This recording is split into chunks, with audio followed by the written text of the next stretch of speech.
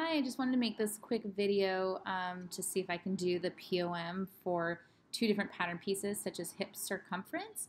Um, maybe I would start by showing my rulers. Oh, were they being shown? I don't see my rulers. Um, what does this one say? Oh, show ruler, death. There it is. Um, so maybe I'll pull out a guideline. Oh, maybe I need to be in a different tool. There we go. Pull out a guideline. Maybe this is where I want my hip circumference to be. Um, zoom in. I'm in the POM tool. Let me go click that. POM. I have no POM, POMs right now. Get the tool and let's see here. So it says double click to complete. So I'll just click one time and I'll just click one time. I'll go over here. Okay, so I'll go over here and click one time and go over here to click one, well, double click. There we are. So see how it has like a little dash line? I'm pretty sure it's not counting that amount. Um, so let's see here, it's 23.7 plus 21 is about like 44-ish. Yeah, so it looks like it made the POM without counting the space. So I think you just click it.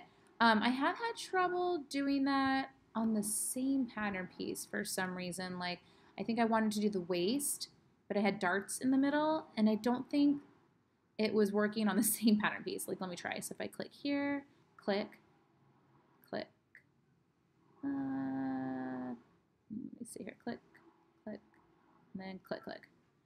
So for some reason on the same pattern piece, see how it's a solid line?